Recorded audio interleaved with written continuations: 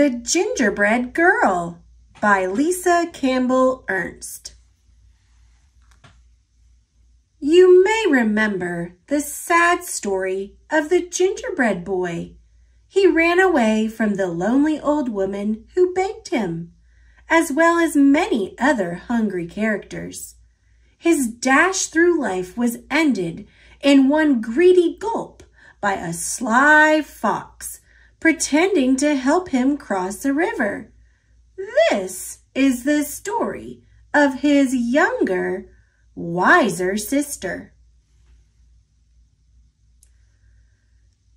A full year had passed since the lonely old woman and the lonely old man had lost their gingerbread boy to the devious fox. They were even lonelier than before. Let's bake again, suggested the old man one morning. But what if the same thing happens? cried the old woman. I couldn't bear the loss. Let's make a girl this time and decorate her with candies. Surely a sweet little girl wouldn't run away, answered the man. So they mixed up the dough, rolled it, and cut it out. They dressed it with as many candies as they could fit, completing the cookie with an amazing hairdo made of licorice whips. She is sweet, gasped the woman as she slid the cookie sheet into the oven. while the lonely old woman and the lonely old man stood watch by the oven, they talked, remembering their gingerbread boy's short life. He never should have run away. He never should have trusted that fox. As the new cookie baked, her mind woke up and she heard everything. Sweet or not, she thought, things will be different this time. When it was time for the cookie to be done, the old woman carefully, ever so carefully, cracked open the oven door to peek. Bam! Out jumped the gingerbread cookie, running toward the door. The little old woman screamed, Stop! Stop! And the little old man came running. But the cookie was already out the door and headed down the same path that her brother had traveled. Here we go, whispered the gingerbread girl. The man and the woman chased after her, but she sang, I'll run and I'll run with a leap and a twirl. You can't catch me. I'm the gingerbread girl. As the gingerbread girl dashed along the path, she came to a group of farmers working in the fields. The aroma of fresh baked gingerbread caught their attention. Wait! the hungry farmers shouted and began to run after the gingerbread girl. She laughed and called, Hey, farmers, don't bother. Like my brother, I'm fast. Run all you want, but I've learned from his past. I'll run and I'll run with a leap and a twirl. You can't catch me, I'm the gingerbread girl. Farther down the road, a pig came into view. As the gingerbread girl grew closer, her candy sparkled in the sunlight. The pig squealed with joy and tried to take a bite. But the gingerbread girl was too fast. She leaped over him singing, I can leap past a piggy like all of the others. This story will not end like that of my brothers. I'll run and I'll run with a leap and a twirl. You can't catch me. I'm the gingerbread girl. On down the path she came upon an artist. A masterpiece good enough to eat, the artist whispered, and reached out to scoop up the gingerbread girl. With some fancy footwork, the gingerbread girl zipped past, laughing. I can outrun this artist like I outran the pig. I am one smart cookie, despite this wild wig. I'll run and I'll run with a leap and a twirl. You can't catch me. I'm the gingerbread girl. Farther along, the gingerbread girl passed a cow with her calf, who mooed happily. Mama, I want a cookie to go with my milk.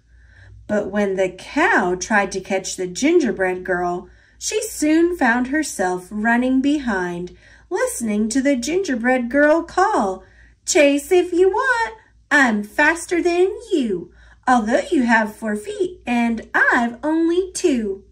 I'll run and I'll run with a leap and a twirl. You can't catch me, I'm the gingerbread girl. Up ahead, a dog walker was crossing the path with three dogs. The dogs barked happily, seeing a tasty treat headed their way. But as the gingerbread girl sped past, the group was soon in line with the others, hearing, You're joining the chase? The more the merrier, but no one can stop me, not hound, not terrier. I'll run and I'll run with a leap and a twirl. You can't catch me. I'm the gingerbread girl. Now the path ran right past a school. The children were out for recess and feeling quite hungry. Shouts of cookie were heard across the playground. The gingerbread girl waved to them all as they joined the chase with their teachers, and she sang, I know that it's snack time and you want a sweet. Come follow along and you'll soon have a treat. I'll run and I'll run with a leap and a twirl. You can't catch me. I'm the gingerbread girl. Finally, the gingerbread girl came to the same river her brother had tried to cross. Who should be waiting for her but that same devious fox? Hello, my pretty, crooned the fox. I was a friend of your brother's. It looks like trouble runs in the family. Do let me help you across the river. Just jump onto my tail. The gingerbread girl shivered, then sang in nearly a whisper. Do I have your promise for a safe ride to shore? You won't drop me or eat me? That's all I implore. The fox chuckled. I promise, my sweet little tidbit. And the gingerbread girl gingerly climbed on the fox's tail. The instant the gingerbread girl climbed on, the fox dove into the water, ready for a fabulous feast. Ooh, the water is so deep. Move to my back, he insisted, thinking this cute cookie was even dumber than her brother. Anyone could tell by looking at her that she was an airhead. The gingerbread girl did what she was told.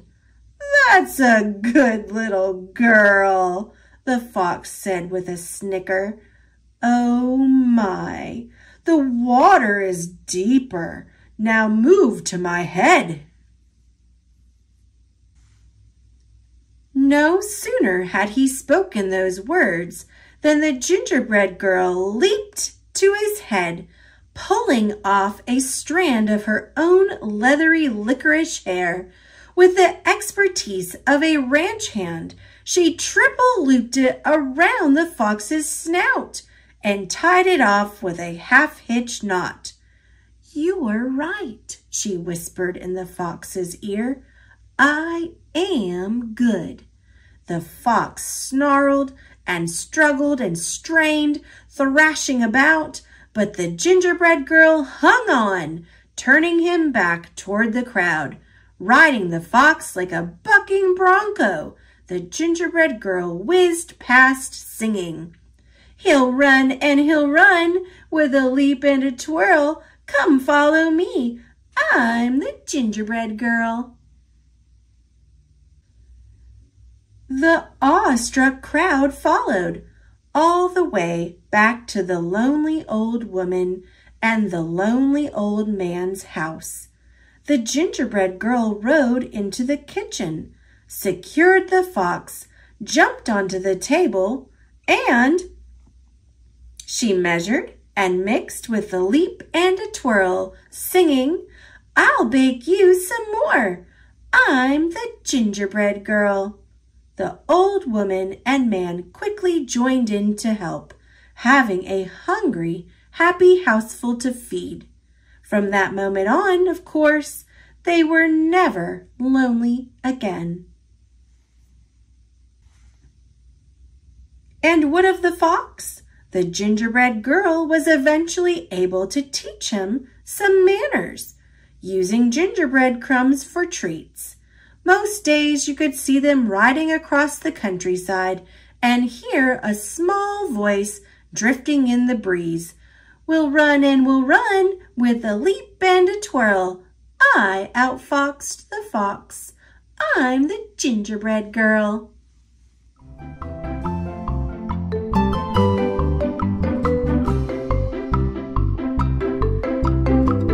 Thanks for watching.